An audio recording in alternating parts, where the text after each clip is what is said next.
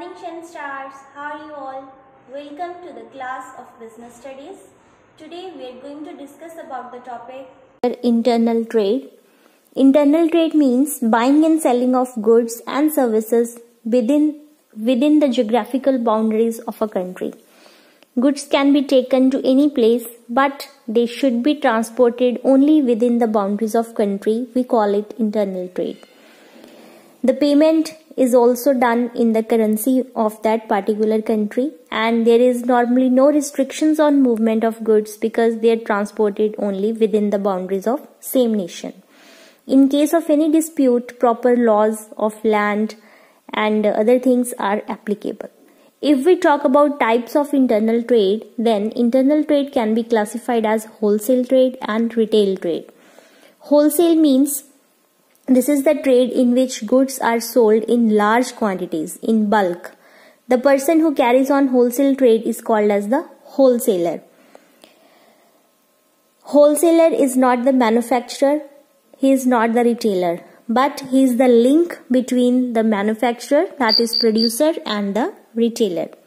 He will buy the goods in bulk and he will resell them further to the retailers. He deals in few types of products and is a vital link between producer and the retailer. Services rendered by the wholesalers. They are providing services to the manufacturers for storage, for uh, trade information, for economy of scale, for price stabilization, marketing information, financing, and other things.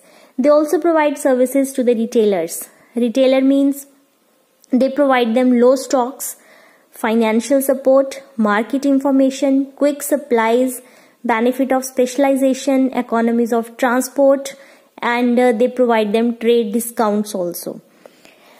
Second is the retail trade. If we talk about retail trade, then in retail trading, goods are sold in small quantities.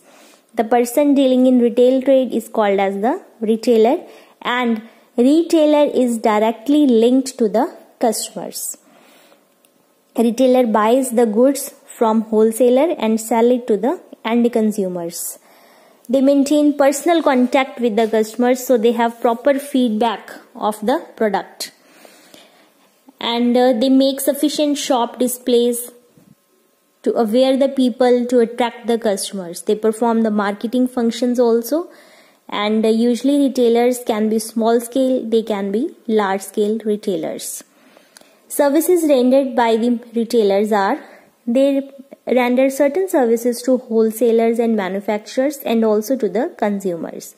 Services to the wholesalers like ready market is provided by them, market information, risk bearing, storage of goods, packing, etc. And services to the consumer, ready stock is provided, variety is provided, they guide the consumer about the products after sale services are also provided. Credit facility, home delivery and convenient location of purchase is provided to the consumers by the retailers. If we talk about types of retailers, then retailers can be itinerant, they can be fixed shop. Itinerants are those those who are not having a fixed place, they move from one place to another for sale. And fixed shop retailers, they can be small scale or they can be large scale. As per syllabus, we have to cover large scale retailers mainly. Under large scale retailers, there are department stores, multiple shops, shopping malls, mail order business, consumer cooperative stores, and vending machines. If we talk about the different large scale retailers, then they require huge investment, huge space, and they are generally located at central places or shopping centers and a large number of customers they visit their showrooms. Right? So let's talk about them. First is department store. Department store is a very big store which is engaged in retail trade of a uh, wide variety of articles under the same roof. Separate departments are there groceries are there uh, daily use goods are there then clothing is there kids section is different sports section is different and under different departments you can buy the products under the same roof characteristics large size separate departments specialization of each department large variety, quality goods, large investments, more and more advertisements, and high running expenses incurred on departmental stores. For example, Walmart, USA, Vishal Megamart. These are the examples of departmental stores. Second, if we talk about multiple shops or chain stores, then chain stores, these are the uh, network or branch shops situated in different localities in the city or in different parts of the country. They're called as chain stores. For example, Bata McDonald, KFC, these are the chain stores. They can be franchises also. Chain stores, they under chain store you will find the same quality, same quantity, same kind of product. Either you buy it in Punjab or you buy it in Haryana, or you buy it in Kerala, you will get the same taste, same quality right? And uh, they are specialized in one type one line of product and range of articles that is restricted.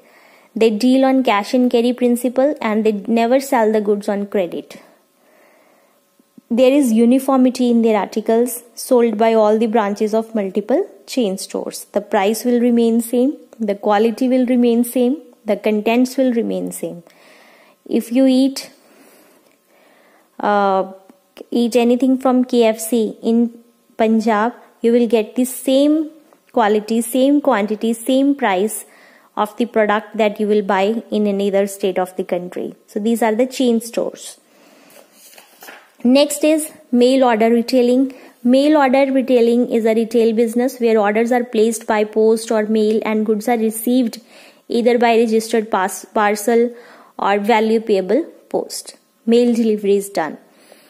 Under such type of selling, the seller advertises his products in leading dailies, newspapers, magazines, through social media, internet services, etc.